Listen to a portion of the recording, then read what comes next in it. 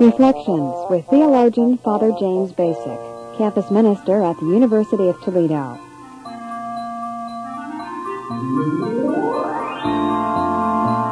In the Judeo-Christian tradition, we have this idea that we are the masters of nature and that it is put at our disposal and that uh, we sort of could do anything we wanted with it. This viewpoint has often been contrasted with the viewpoint that one would find in the Eastern world, where things of uh, nature would be more respected.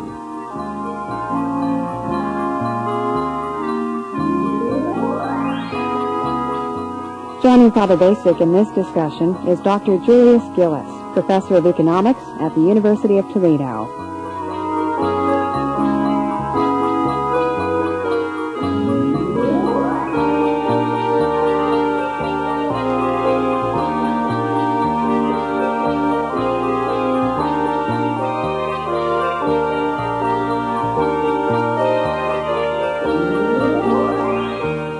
Today's Reflections focuses on the topic of a Christian response to environmental problems.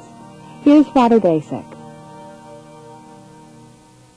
Jules, I know you as a professor at the University of Toledo and a colleague of mine there. And uh, um, what is it exactly you teach at the university? I teach urban economics, economics of crime, and microtheory. Well, I don't want to talk about any of that. With I understand you. that. I understand that and- and maybe the one about the, the, the urban situation. I thought that perhaps we could talk a bit about environmental questions. And the reason that uh, that is because I know that you have a, a feel for nature. In fact, of uh, all the people I've met, you sort of impress me as as having a, a deep down uh, sort of affinity for the for the natural world. And uh, I've um, talked to you about that kind of thing informally in the past, and so I thought maybe we could deal with that and take you out of your field. I know that's not fair. I mean, professors always like to talk about their field, and I'm sure you could deal with all of that uh, clearly. But I'd like you to talk with me a bit as a as a layperson and about something that you sort of know from another angle, and that is uh, the world of nature. So, you willing to do a little bit of that? I'm game father. And uh, perhaps we talk uh, about nature in relationship to environmental problems today. Let me uh, set the stage out of my own theological framework, and that is the charge that very often Christianity is uh, opposed to nature, that Christianity is part of the problem of pollution in the world. And it goes something like this that in the Judeo-Christian tradition that we have this idea that we are the masters of nature and that it is put at our disposal and that uh, we sort of could do anything we wanted with it. This viewpoint has often been contrasted with the viewpoint that one would find in the Eastern world, where things of uh, nature would be more respected, where it almost would seem as though the deity inhabits that world. If you think of the sort of pantheism we know in Hinduism, you, you get some sense of that, that um, that, God is almost in that. Well, you think of the sacred cows in India, for example, where uh, people wouldn't touch them even if they were hungry because they are so sacred, because it's almost like the deity inhabits them. Whereas in the Christ, Judeo-Christian tradition, there's been a distance between God and nature. God would be revealed in and through nature, but it would not be God itself. And therefore, some of the response in the Judeo-Christian tradition has been, well, therefore you can do whatever you want with it.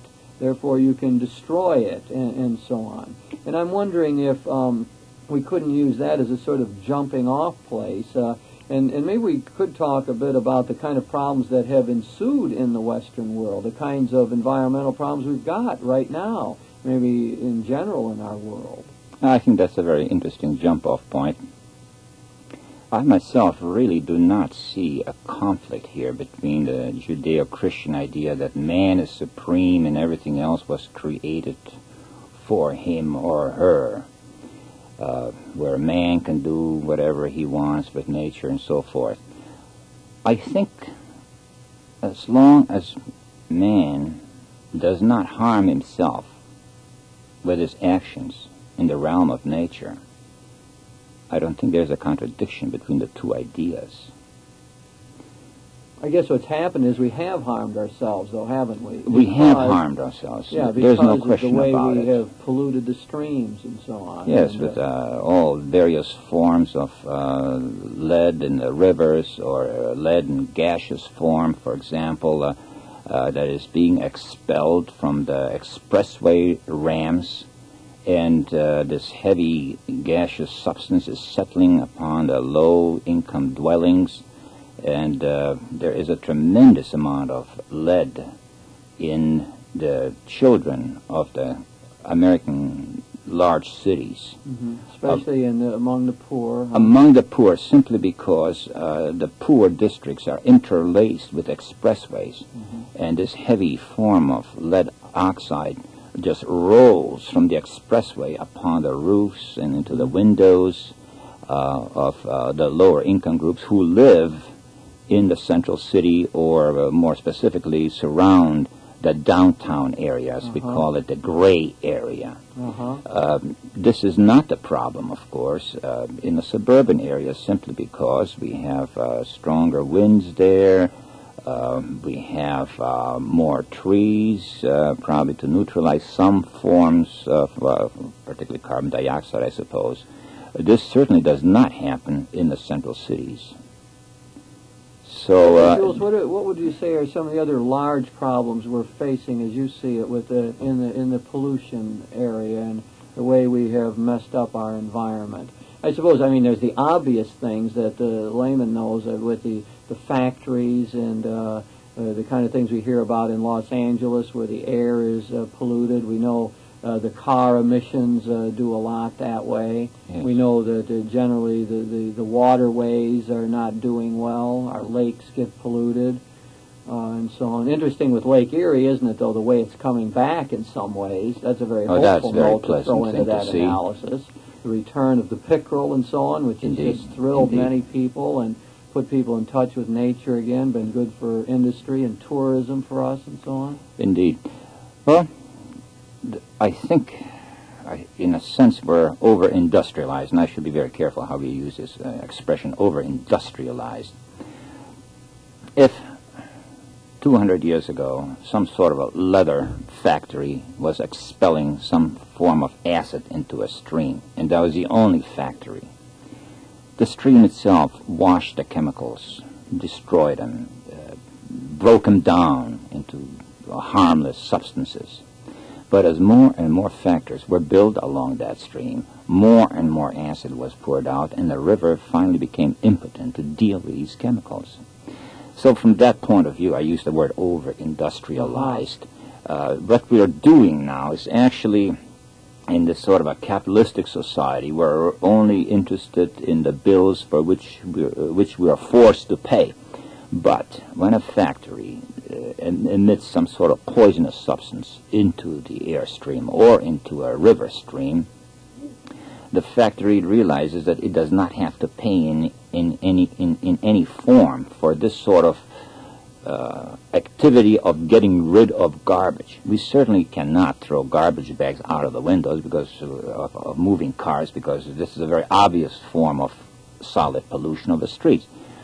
What is much more subtle and uh, is uh, when uh, some sort of factory lets out a stream of uh, sulfuric concentrated sulfuric acid into uh, into to a riverbed, and uh, what that factory is doing is exactly what that careless motorist is doing, dumping in an authorized manner um, into a, a public uh, pub, uh, public stream, just like uh, the motorist is throwing garbage out of a window uh, upon a And public very often, I guess, in the past, we just haven't noticed that kind of pollution, and uh, I guess we're becoming more aware of it now, aren't we? And uh, with the uh, EPA and the uh, environmental rules and so on, and greater efforts to control industry in this way. That's right. We have not noticed it. We have noticed it perhaps a little bit too late. Only when the first serious uh, vectors of damage were inflicted upon our, our society. This is Yeah, a very that- serious. It's a pessimistic statement. It may be too late, isn't? Uh, don't we get some comfort from what I was saying about Lake Erie coming back and uh, people saying the Maumee River is getting cleaned up? I think the Thames River in London, they did remarkable things there. uh, in uh, returning the life to the lake, I mean to the river and so on? It, it is never too late, Father. Uh, that is for sure. Uh, when I said it's too late, that I meant that we should have done something about it much earlier Mm-hmm. and would have averted the damage that was already inflicted, in some places perhaps irreversible. Yeah. Uh, some lakes cannot be saved. Fortunately for us, Lake Erie is improving continuously year by year. Uh, but um, how much progress we will be able to make in the future in this area depends how much money will be allocated from the federal coffers to solve this problem. Uh, private companies in a capitalistic society, of course, are not willing to do that because nobody's forcing them to come out with these uh, payments and so forth. In other forms uh, of societal forms, like uh, socialistic economies and so forth, uh, companies have no choice but come across with a certain amount of payment to clean up the mess that they themselves create. Jules, I was thinking too of another environmental problem. I was just uh, reading the literature from uh, CARE uh, this morning, and they were they have a large campaign going to help with um, reestablish the forests in various parts of the world. And I was reading the analysis, and it was the idea that the increase of uh, uh, the agricultural effort in these developing countries is actually hurting them in the long run. So that what happens is they need wood for fire in order to uh, heat their food and to some places at least keep themselves warm, and that they would keep cutting down the forest to get this, and they would end up with more land then that they could farm, but in the long run, they're really hurting themselves. And uh, the the appeal for the money was to plant trees for reforestation to take place in these developing countries, and CARE is making a massive effort in that regard. So I, I guess that would be another example, even in very primitive societies, where uh, the way that nature is used or interacted with helps produce human problems in some way. There's no question about it, particularly in our Caribbean, neighbor, neighboring Caribbean islands. Uh, there was a tremendous abuse in this sort of activity. He, there, the farmers, of course, do not have as much money to spend on fertilizer, so what they do is denude acres of virgin forests, plant whatever crops they were planting for two, three years until they use up all the nutrients, and move on, denude hundreds of acres uh, in new areas. What happens eventually is this that uh, many of these islands, of course, are not level, slightly mountainous, and a serious erosion problem arose. So uh, all kinds of roots are being exposed from all the trees that are still standing, and more trees are just toppling over now. And uh, there is another problem, uh, particularly further south of the Caribbean islands, where when they denuded acres, acres of mahogany forests, they realized that the amount of rainfall in the contiguous areas changed drastically. So here they have more crops, they have less rainfall, and uh, that is a very serious um, uh, catch-22 problem that's arising. Uh, as, Right, and I guess CARE is one of their responses is that they want to plant the trees, and they were saying how mil- many millions they have done already and intend to do, and they have matching funds from the government evidently to carry this out. One of the pictures I got is that to uh, even to plant trees along the arable land that they are farming, and for I guess to cut down on the winds that Soil that erosion, to- soil erosion. Yes, and uh, that would eventually indeed. damage the crops. Yeah, it's very important to preserve uh, patches of forest, if, particularly if you're driving around our plain northwestern uh, state of Ohio here. You'll see uh, large patches of forest uh, among cornfields and wheat fields, and that serves a very important function. There's no accident that those trees are there. Uh, they are stopping the wind uh, and, and preventing erosion. Soil erosion. soil erosion. Mm-hmm. Yes. I guess, Jules, if we continue our analysis here, we have to look a little bit at the uh, problems of the nuclear waste as well, and the way that those are potentially uh, great problems for us, and uh, how we're going to be able to dispose of all of that. I know a lot of the people who are against the nuclear power plants, to say nothing of the nuclear weaponry, uh, seem to talk along that line. I'm never quite sure what to make of all of that. But that we're uh, producing waste material here that it becomes almost impossible to deal with over the years. This is, I think, the most serious problem with atomic energy. It's not that the plants are unsafe. What is unsafe is the disposal of the used up nuclear material. The technology, the science is incapable of dealing with this problem. Where do we put tons and tons of uh, radioactive material? So the material which will be alive, meaning radiating uh, for hundreds of years without harming the society. Mm-hmm. Uh, should we just dump them someplace in, in the Pacific and at least not harm the Americans, but harm the people that live in those uh, other islands? Uh, uh this would be uh, really an, an, an, Christian kind of act, even though I heard that some sort of uh, plans are being made to, to do that. To do that. Thing, yeah. You know, that would be a violation, too, of justice in terms of Indeed. relationship between Indeed. countries.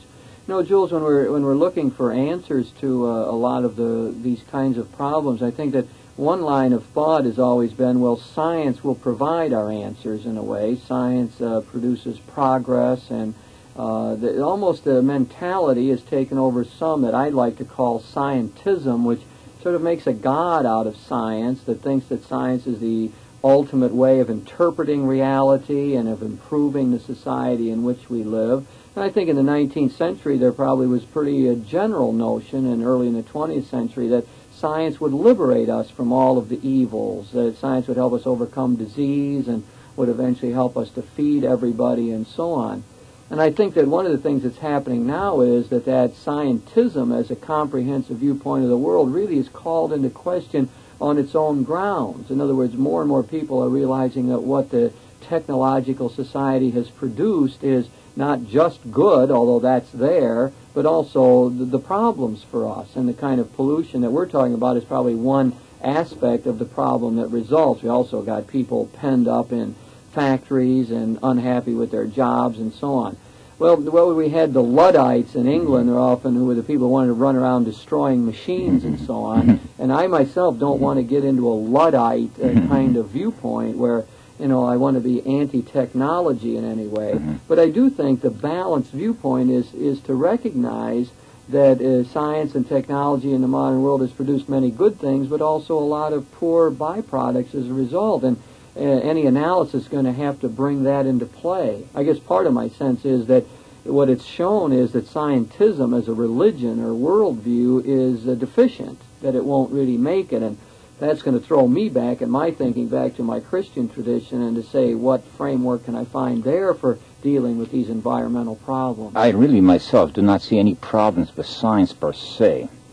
Uh, the real problem, I think, is how the results that science produced are being used. There is a lot of confusion in this area due to the single fact that perhaps, and I stress the word perhaps, we're making too much progress now in science, which may result into serious confusion among the scientists. Do you realize that every day 6,000 to 7,000 scientific articles are being generated in our, on our globe? What scientists can really digest this sort of information? Mm-hmm. We're drowning in this information. This is a, as, as, as I saw it referred someplace, information pollution that we're yeah. suffering. So we're back to pollution here. we're talking about. Uh, but I am myself optimistic that, or uh, in the future, uh, we will make enough progress that we will resolve this very serious nuclear waste pollution problem. I think we must we must. We have to, or we destroy ourselves. We will eventually. destroy ourselves. Now, indeed. Jules, what I would like to get in at this point is what you were suggesting before about a, another way of looking at that Judeo-Christian tradition, which is uh, not incompatible with uh, trying to improve our environment, or put positively, a, a Christian viewpoint which would enable us to really tend our earth with a proper care. And I, and I think that it is found there. In other words, uh, we have uh, resources within our Christian tradition that, that, that are very different from that. I mean, we have the idea that what we were really put on the earth to do is to tend the garden, that we were stewards of the creation, mm-hmm. not to abuse it and not to use it just for our own advantage, but to think about the generations that would come after us and to try to care for it in the proper way. And I think that, you know, as you go through the tradition, you can see good elements. Like, I think Jesus, you know, had that sense of the creation, the way he talked about the flowers of the field and the birds of the air, and um, not that he was on a, a environmental crusade or anything, but I think there was built into his attitude sort of a respect for nature as part of God's uh, garden that we are tending. And then if you go on in the tradition, you find uh, people like Saint Benedict and so on, and, and people who really uh, cared about the world and uh, the seemed to live the simple kind of life. I think of Saint Francis of Assisi, which everyone mm-hmm. would identify with, I guess, in terms of the love mm-hmm. of nature and mm-hmm. his ability to talk with the animals or uh, to uh, befriend uh, God's creation. Uh, talked about the sun and the moon as his brothers and sisters, and and so on. And and right up to our own time, I think, where you know I get a lot of enlightenment from uh, the Jesuit paleontologist and geologist Teilhard de Chardin, who talked glowingly of nature and of uh, our uh, the need to sort of build the new heaven and the new earth. So what I've tried to do there, I suppose, is just take a little survey of the Judeo-Christian tradition and hit some highlights. But what it tells me overall is that uh, we don't have to be people who just abuse our earth that we're really called upon by with God to co-create that world to make it a little better in some way. There is really no need for that. Of course, when uh, we're talking about God as creator, who was the ideal creator, created is whatever he created ideally with no conflict. Of course, uh, we, uh, uh I say we, the scientists, we are far, far removed from that. We are not even creators, really, in the fullest sense of the word. And uh, very often, one creation uh, harms or impedes progress, uh, helps progress for one group of people, and the, uh, on the other hand, harms some other people. So we lack this perfection. We lack this perfection. Can we get an example and, of that? Uh, Are you thinking of the way we make industrial progress in the United right. States and maybe use uh, third world labor to do it, or, or use a third world or even this, uh, this, idea of even the thinking of dumping in, in, in, nuclear waste outside the boundaries of the United States is, I think, a good well, illustration Well, in a way, we did that, that when uh, through uh, the uh, tests in the atmosphere before the atmospheric uh, test ban treaty. Indeed. We would have uh, been guilty of uh, spewing that yes. all over our globe, yes. wouldn't we? Yes. But uh, what is even more uh, frightening is that uh, nuclear energy, of course, can be used for peaceful purposes and would create a tremendous amount of good once we improve uh, this technology uh, like a few more notches. On the other hand, this nuclear energy idea or, or reaction could spell the end for this earth. Right, so how are those creations used in the hands of humans? Right. I, I think your point is well taken. The technology itself, uh, you don't want to think of it as evil, it's but neutral. that's it's right. Neutral. It ends up how the humans uh, want to use, use it. And of course, uh, that I, I would be looking for the signs of hope again, you know, in ways that maybe we have become more conscious of this. We see the ads on television with the uh, Indian man and the tear in the eye because mm-hmm. of the way yes. nature is being mm-hmm. Abused. abused in one way or another. Well, I wonder, you know, some people might like that, some might not, but I'm wondering if we aren't creating a sort of different consciousness among young people in this regard that we're not supposed to just litter our country and we're not supposed to uh, pollute things. I wonder if we aren't uh, raising our consciousness on this, and maybe even that corporations are becoming more responsive in some way. Somehow I'd like to think that. Get any inklings of that?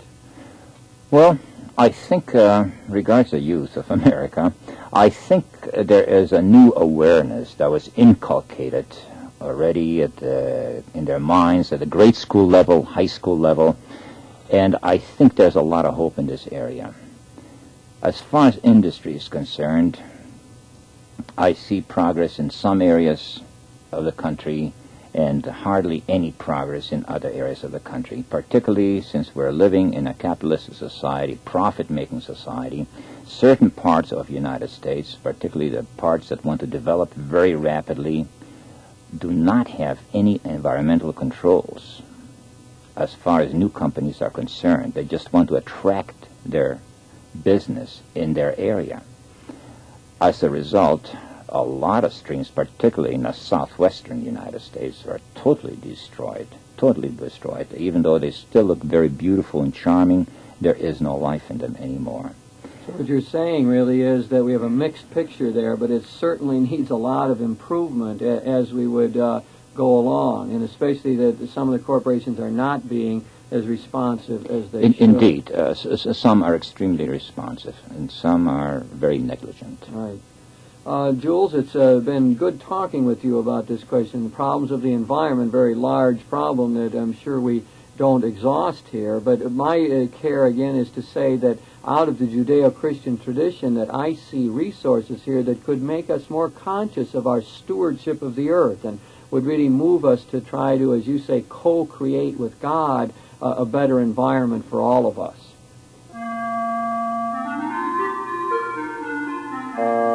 You've been listening to Reflections with your host, theologian Father James Bacik, campus minister at the University of Toledo.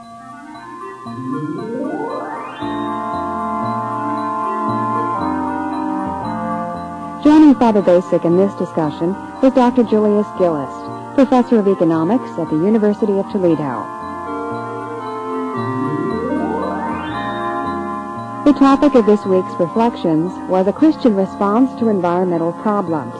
If you have any questions about today's program or any ideas for topics you'd like to hear discussed, please write to Reflections in care of WLQR, Toledo, Ohio 43623. Produced in the studios of WLQR, Reflections is directed by Mary Beth Kirchner.